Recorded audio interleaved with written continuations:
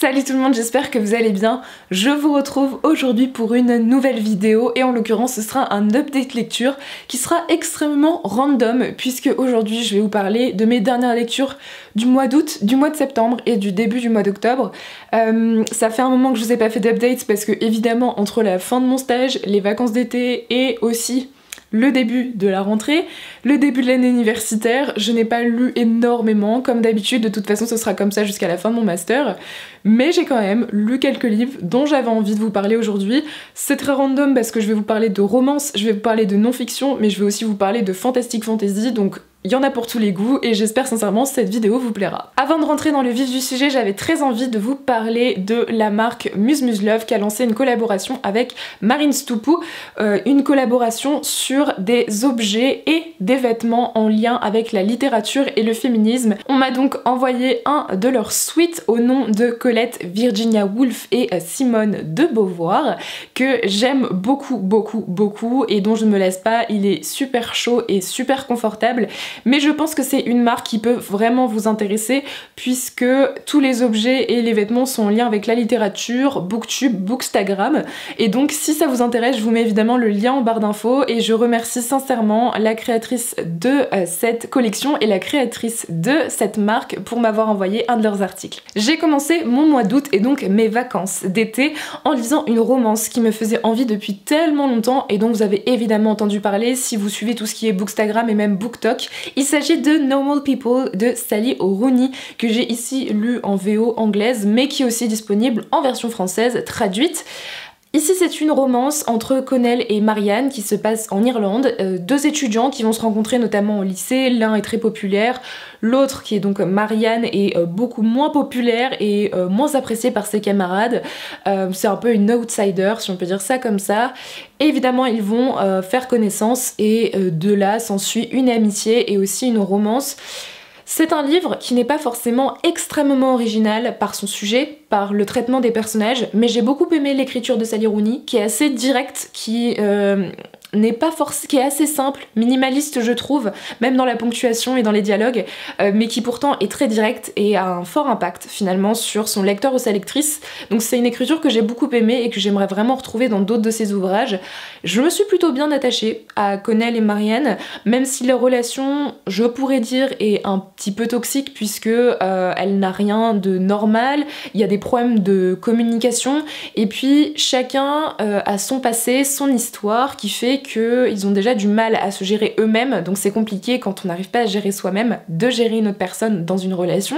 Et ici, c'est ce qui se passe. Donc, on suit un peu ces problèmes de communication, ces problèmes de développement psychologique des deux personnages à travers leurs relations, qui finalement, je trouve, abordent très bien les relations des jeunes adultes aujourd'hui. C'est quelque chose d'assez réaliste euh, à l'ère euh, des réseaux sociaux, à l'ère euh, des applications de rencontres. J'ai trouvé qu'en fait, leur manière d'être tous les deux dans cette ambiguïté entre amitié et romance, dans le fait aussi de la distance et du fait d'être proche pendant un moment, et puis de chacun vivre sa vie, ses rêves, ses études, c'est quelque chose qui est très réaliste et j'ai beaucoup aimé, je me suis beaucoup retrouvée là-dedans, en tout cas dans l'aspect un peu moderne de la romance. Donc j'ai bien aimé cette histoire, je comprends pourquoi elle a plu, après je trouve qu'on en parle énormément. Euh, Sally Rooney, voilà, c'est une autrice que j'entends euh, tous les jours, je vois ses romans passer sur internet, sur YouTube. Euh, pourquoi pas? Lire les autres livres de cette autrice, peut-être que ça me convaincra un peu plus de son énorme succès euh, à travers le monde, mais euh, voilà, j'ai trouvé que c'était une bonne romance, mais je trouve en a peut-être des meilleures, mais j'ai quand même passé un très bon moment avec cette histoire. Ensuite, on va rester dans le thème de la romance, avec cette fois-ci une non-fiction. J'ai lu Dating Fatigue, Amour et solitude dans les années 2020 de Judith Duportail. Ici, c'est de la non-fiction, une sorte d'essai qu'on pourrait qualifier de féministe, euh, mais aussi un essai sur les relations de couple aujourd'hui et tout ce qui est application de rencontres. Euh, c'est un ouvrage dont j'ai entendu parler dans le podcast Le cœur sur la table, qui est un podcast que j'aime énormément, je vous le recommande. C'est sur les thèmes des relations, de l'amour. C'est vraiment un podcast incroyable qui est d'une excellente qualité. Je vous le recommande beaucoup et donc dans un de ces épisodes du podcast, Judith de Portail a été invitée pour parler de son ouvrage et de son précédent ouvrage qui est L'amour sous algorithme, qui est une sorte d'enquête notamment sur l'application Tinder, qui a l'air extrêmement intéressante, donc j'ai hâte de pouvoir me le procurer et le dévorer.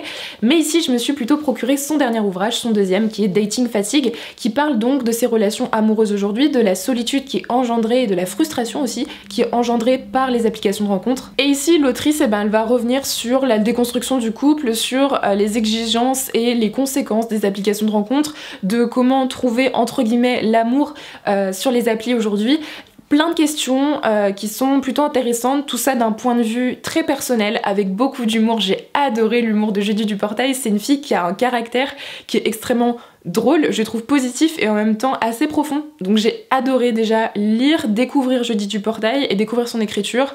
C'est un livre qui m'a fait beaucoup rire et en même temps qui m'a posé beaucoup de questions sur euh, le monde aujourd'hui, le monde de l'amour aujourd'hui. Après, je pense que c'est vraiment une introduction. Si vous voulez quelque chose de beaucoup plus poussé, il y a notamment Mona Chollet qui a sorti un ouvrage sur les mêmes thèmes et notamment les relations hétérosexuelles aujourd'hui et comment les déconstruire, euh, qui m'a l'air un peu plus poussé peut-être. Mais si vous voulez une introduction de cette idée, de ce concept. Je pense que Dating Fatigue est une, un, bon commencement, un bon début. Donc je vous le recommande euh, sincèrement si c'est des sujets qui vous intéressent et que vous avez envie de commencer à vous y intéresser doucement, n'hésitez pas à vous plonger dans cet ouvrage parce que je pense que ça va vous faire passer un bon moment. Après ces deux ouvrages sur l'amour, j'ai décidé de me plonger dans du fantastique, fantasy, puisque j'avais envie de me changer les idées et de changer de genre. Comme vous le savez, j'adore mixer un peu les genres de mes lectures. Et donc j'ai voulu continuer une saga qui était L'Antimagicien. Ici avec le tome 5, les traits de la cour de Sébastien de Castel aux éditions Gallimard Jeunesse. Donc c'est ici une saga young adulte de fantasy fantastique on peut dire.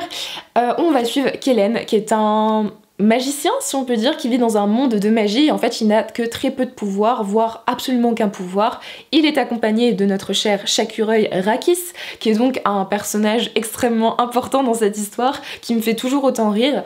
Et ici, on les suit dans une nouvelle aventure, cette fois-ci dans le royaume de Darom, qui est un des royaumes du monde où vit Kellen. J'ai plutôt bien aimé ce cinquième tome. J'ai adoré retrouver Kellen et Rakis, c'est toujours un plaisir. Ici, c'est le cinquième tome et il y en a six en tout, le sixième étant déjà sorti. C'est toujours un plaisir de retrouver ces personnages, j'aime toujours autant les suivre, euh, il y a énormément d'humour, j'aime beaucoup les actions, les situations complètement loufoques dans lesquelles ils arrivent à se plonger, ici c'est encore le cas. Mais j'ai trouvé que ce cinquième tome s'essoufflait un peu en termes de rythme et surtout d'originalité dans l'univers. C'est le cinquième tome, donc forcément il faut retrouver des idées qui sortent un peu de ce qu'on a vu précédemment. Et en fait j'ai tellement adoré le quatrième tome qui s'appelle L'abbaye d'ébène et qui se concentre sur un aspect très magique et mythique de cette histoire que ce cinquième tome m'a semblé un peu plus ordinaire au niveau de l'intrigue et au niveau de l'action. J'ai pas été vraiment surprise par ce qui s'est passé ici, euh, même au niveau des développements des personnages secondaires. J'ai, voilà, j'aime toujours suivre ces personnages, mais l'intrigue ne m'a pas énormément surprise ou convaincue, et j'ai pas trouvé qu'on avançait énormément dans l'intrigue non plus, même si ici on découvre un autre pan de l'univers avec euh, tout ce qui est euh, le royaume de Darom, leur religion, etc. Mais c'est quelque chose, un processus qu'on a déjà vu dans les tomes précédents avec d'autres royaumes. Donc c'était intéressant, mais bon, je, commence peut-être un peu à me lasser de cette saga. Pourtant c'est toujours aussi bien écrit, il y a toujours du rythme, toujours de l'action, mais voilà, je pense que ça commence à s'essouffler, donc je suis contente que le tome prochain soit le sixième tome et que ce soit le dernier, parce que j'ai hâte de, j'espère retrouver certains personnages euh, qu'on ne voit pas depuis un moment dans cette saga. J'espère sincèrement qu'on va les retrouver. Euh, un personnage en particulier, et si vous suivez cette saga, je pense que vous savez de qui je parle.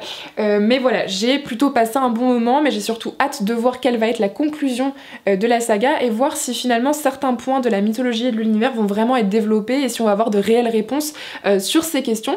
Donc hâte de voir ce que va donner la fin et euh, la suite. Je suis repartie après cette lecture de l'antimagicien qui m'a quand même pris plus de 15 jours, donc j'avais envie de quelque chose de léger et que j'allais lire vite.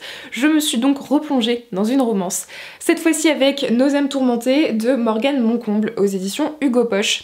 Vous savez que Morgane Moncomble est une de mes autrices de romance préférées. En ce moment, à ce moment-là, j'étais dans ma période romance, donc je me suis plongée dans sa dernière romance qui est sortie en poche, puisqu'elle en a sorti beaucoup à côté en grand format. Moi, souvent, je les achète en poche, donc celle-ci était celle que je n'avais pas encore lue.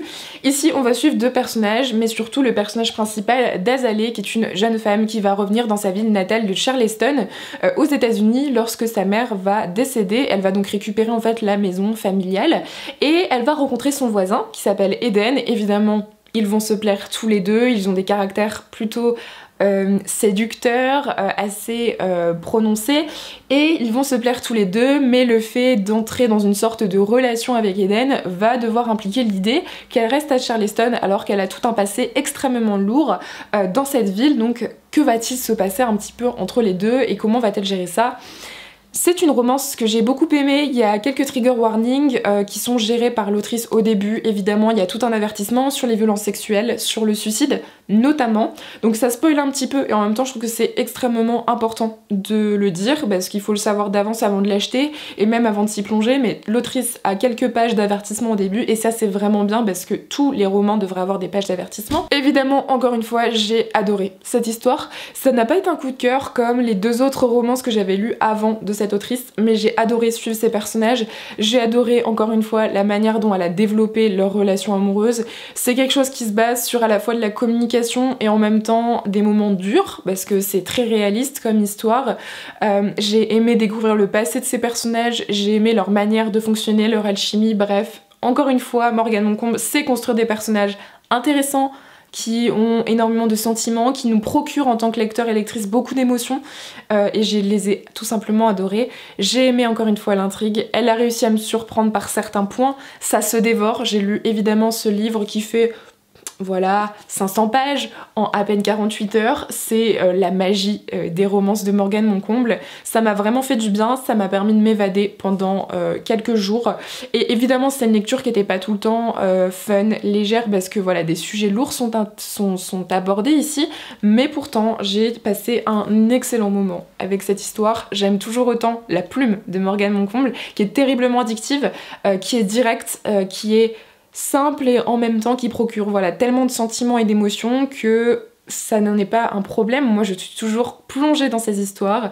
Donc, bah, j'ai hâte de lire la prochaine romance. Quand j'aurai un petit peu envie de me replonger dans de la romance, j'ai hâte de lire la prochaine qui sortira en poche de Morgane Moncomble. Mais si vous n'avez toujours pas lu cette autrice et que vous aimez la romance, je vous invite sincèrement à vous y plonger. Et le dernier livre dont je voulais vous parler pour cette update lecture, c'est un livre qui sort totalement de la romance. On repart avec de la non-fiction avec Tout peut changer de Naomi Klein, donc Capitalisme et changement climatique, aux éditions Babel. Ici c'est un livre de non-fiction écrit par une journaliste canadienne qui est très connue pour ses autres essais comme No Logo par exemple ou La stratégie du choc.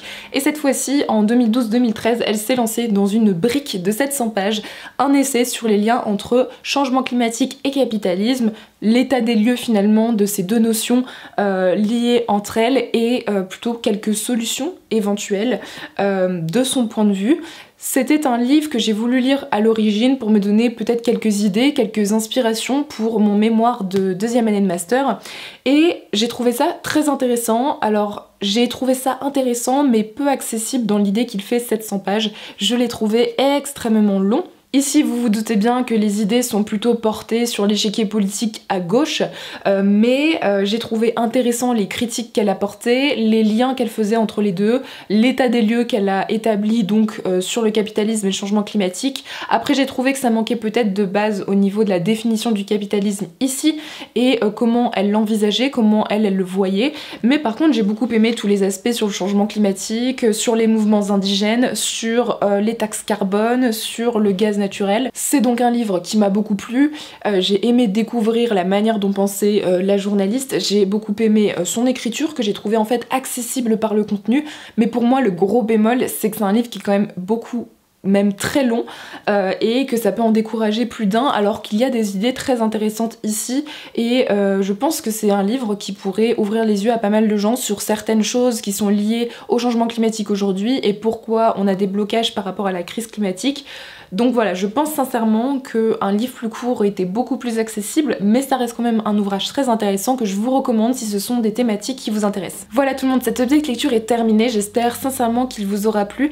N'hésitez pas à me dire en commentaire si vous avez lu un de ces livres ou ce que vous avez vous lu dernièrement, vos derniers coups de cœur, ça me ferait très plaisir. Si vous n'êtes toujours pas abonné à la chaîne, n'hésitez pas à vous abonner. Et moi je vous souhaite de très bonnes lectures et je vous dis à très bientôt dans une prochaine vidéo.